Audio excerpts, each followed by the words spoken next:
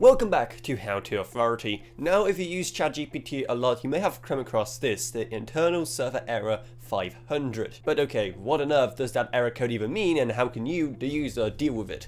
Well, probably the best thing you can do from the start is to check if ChatGPT is currently down. OpenAI do have a status website where you can see the uptime of all the services, so you can determine if ChatGPT is down or not. So before anything else, make sure to check that website first. So if it is down, all you can really do is just wait around and hope it gets fixed soon.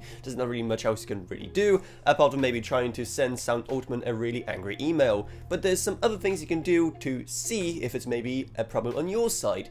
If ChatGPT is up, but you still get this error. The first thing I'm going to try is just reload a page a couple of times, see if that helps, and if it eventually starts working. If it still doesn't work, then the next best thing you can do is to try and delete the cache and cookies. On the Chrome, the easiest way to do that is simply click on this icon in the search bar on the top left, then click on cookies, then simply select, delete them all, and refresh the page once again. If it's still going on, then maybe it's the fault of the browser itself. At that point, you can just try a different browser. If you're using Chrome, then you probably already have Microsoft Edge already installed on your PC, you can try that, or one of the many other options available on the market right now, with of course the most popular ones being things like for example Firefox or Opera, or even Safari if you're on Mac instead, and of course things like Samsung Internet if you're on mobile. It can also be your internet, but that can be very easily checked by trying to load any other pages and see if they load. If they don't load, then make sure by checking in the bottom right of your Windows taskbar if you're even connected to internet. Those are the main things you can do to get ChatGPT up and running again